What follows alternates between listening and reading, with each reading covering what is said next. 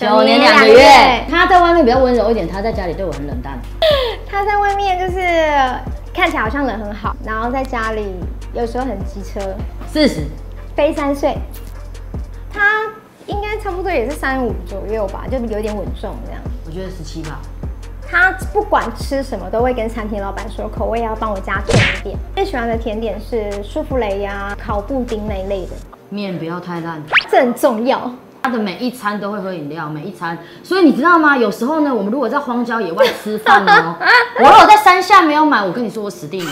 如果是 seven 的话，他就会喝纯丝绿啊，或者是红茶啊、蜂蜜水。那手摇茶，然后手摇茶最最最难的。对，茶里摇回不出来。拿铁不是吗？拿铁是咖啡，手摇茶就是红茶、绿茶那类的，就红茶拿铁啊。OK，对。奶茶这样子。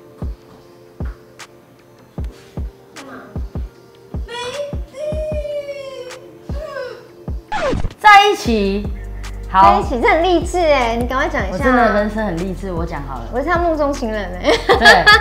宝珠的女神是飞，某一天终于要到她的电话，尽管被飞忽略了很多次，还是锲而不舍的积极追求。天秤座就是他拒绝你，但是你也看不出来到底你有没有希望。就这样前前后后耗了八九个月，最后到底发生什么事？让我们继续看下去。他是在他三十岁生日那一年。然后生日的时候先跟朋友套好，我就在我生日的那一天，然后约了大概一二十个朋友，所以他们就每个人都敬他酒。然后当然这一轮轮完以后，他就有点帮了，所以他就去厕所吐。吐了以后，我就赶紧去厕所，我就说你还好吗？你还好吗？吐完以后，可能那天他来的之前心情也有一点不好，就有别的事情心情不好，然后他就可能情绪涌上来，就有点难过。他说没关系，你不要想那么多啦。从今天开始，你的事是我的事。从明天开始，什么事情我都会帮你解决。他就这样。好，的。我就说那你就答应了，他就说没有说。好吧，我应该是醉到就是这样点头，对，他就点了头。我说 OK，那你就答应了，然后他就说嗯嗯，我说 OK，等到他从厕所出来后，我就跟大家说他刚刚说他愿意当我女朋友，然后飞转过来看我，然后我就说对他刚刚答应了，然后大家开始开始雷动我，我就好就看着大家结束了解散，送他回家。第二天我就去找他了，我说你我我哎我看了几个房子，你看一下。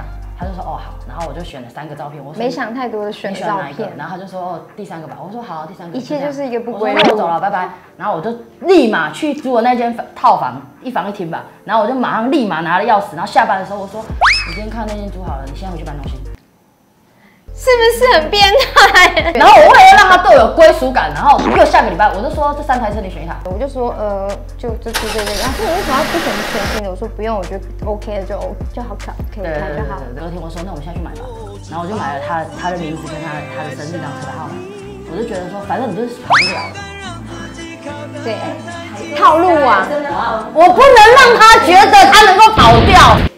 巨蟹座，我告诉你不要放弃，人生无限可能。呃，我觉得他很，他他很聪明，就是可以帮我解决所有事情，真的是所有哦。哦，他有，他是我认识真的是数一数二自信破表的人。这这一件事情是我很没有的。他对我非常有耐心，他可以为了我要吃一样东西，把整个台中绕遍了。就是我只是想要吃吐司，可是我吃吐司一定要抹花生酱跟奶油。然后买到花生酱了，接下来他要去买奶油。他在某一家超市看到奶油，他觉得包装不够漂亮，因为我很吃包装，他就那一个晚上大概开了七八间超市，而且那是台风天，夸张吗？他很活在自己的世界里面，这算夸奖吗？有时候我觉得他就是过分善良。好啦，他从来没有脱妆过，这算是过人之处吗？哦，这很难吧？很难啊，这保湿要做的。重点在于他从来不补妆哦。好吧，我觉得他最。经典的怪癖就是不爱穿内裤，现在也没穿啊。他今天来也没穿。到这么多年，到此时此刻九年了，九年多哎，我都不知道他什么时候大便。他没有私底下邋遢那一面，你懂吗？就是他没有那个很脏或很臭，或者是什么弄到裤子。嗯，我以前是跟男生交往嘛，但是我以前跟男生谈恋爱的时候，我觉得我比较把自己放很大，我觉得我开心就就就 OK。可是当你遇到一个人，你发现你会想要真心的去了解他所有事情，那就不一样，你才会发现说，原来这才才才叫谈恋爱。跟他在一起以后是你跟他讲，不管是哪一类的心事，他都可以很具细密的，就是陪我聊天，分析给我听，然后让我觉得，嗯，怎么这么不一样？他会想要走进我的世界，就是真心的去了解我，而不是只是打发你，你懂吗？就像好比我说一个小小的买东西吃就很不一样，所以我就是跟我那女生朋友说，你还没遇到那个人，你还不够爱他，所以你会一直挑三拣四他的问题。当你觉得你够爱这个人，你会开始觉得想要改变自己的缺点，他也会想要改变他的缺点，这样子，我们两个是这样子啊。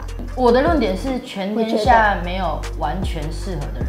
对你够爱他，他就会变成适合你；你不够爱他，他就会不适合你，就这样而已。我们两个真的就是他们讲的极限情人，我们一起工作，住在一起，所以我们每天我们有极长的时间在一起，然后又这么多年，就觉得我们两个的关系要有点突破。然后再加上这一两年他生病了，他常常就是会不舒服，然后觉得不开心。然后我就有一次很意外的，就是用一个 app，然后就是我发现我好像用那个 app，然后换另外一种方式跟那个思维跟他说话，他很开心，所以我就觉得我我要一直做这个角色下去。才有保住这个角色。我觉得我比较以我这个年纪来说，我很幸福的是，我觉得我大致上没有受到太多的歧视，跟就是言语霸凌也好，可能跟我自己的想法有很大的关系。因为我一直都觉得，当你的能力跟你的才华超越这些事情的时候，别人就不会看到你的形象。他就是开开开个玩笑，就是除了看到他性器官跟跟我撒娇以外，其他时候我就觉得他很像男的。例如他会蹲在地上洗澡，用一个肥皂，然后像当兵兵，像当兵，然后他刷牙挤牙膏是像这样挤冰淇淋的方式这样挤，是用刷牙哎、我就是一直我就是一直都是这样子。你知道吗？我我他追我以后，我刚刚跟他在一起以后，我就马上要在 Facebook 公布。只有一个国小同学，就是很久没联络，突然问我说：“你为什么要跟女生在一起？你长得那么漂亮，条件那么好，干嘛跟女生在一起？”然后我就回答他说：“我觉得谈恋爱是喜不喜欢这个人，不是他是什么性别。”嗯，那我那朋友马上闭嘴。You need to shut the fuck up. 我之前跟男生在一起的时候，我都会开玩笑说，其实我蛮想跟女生在一起，我觉得我很适合。然后大家都觉得我在开玩笑，甚至有一些大姐，就是身边有一些大姐，他们会说你长这样跟女生在一起太可惜。可是我觉得讲这种话很奇怪，Shut the fuck up, you cunt! 所以我觉得谈恋爱对我来说是我喜不喜欢这个人，而不是他的性别。不要对另一半太好。我这样会教这要教坏别人。我的意思是，不要就是百分之百顺从，你还是要有自己的个性在。就是不要为了讨好另一半，然后做出你不开心的事情。所谓的做自己也要适度，也不是说好像什么都可以。当然有坏习惯你就要改掉。对，我我的意思是保留好的，然后做自己。我我本我本身比较不会表达，反正我就是觉得女生不要对自己太差，把自己活得有价值一点。我要送他这句真心话，我在他某一年的生日的时候把它刺在身上了。这句话就是谢谢你出现在我生命里，因为我跟家里人之前有一段时间处得不太开心，但是是他让我觉得好像就是嗯有有他很美好，我不后悔，就是是当不管不管是同性恋或不同性恋都没关系，就是遇到他很开心这样。我觉得爱情最美好的样子是一起面对问题，面对困难，然后一起走过去。所以我觉得我们两个已经做到了。我觉得有你当我的人生伴侣，就是我觉得我活在这个世界上最重要跟最快乐的事情。跟你说我我们两个为什么一直，其实我一直有想要跟他求婚，可是我跟你说，我一直想不出来一个出奇制胜，然后完全 Google 不到的方法。好，我会弄一个很大阵仗，你放心。好，OK，用一二十人嘛，用一二十人，就之前找那一二十人。不是，是会出动私人飞机这种等级的。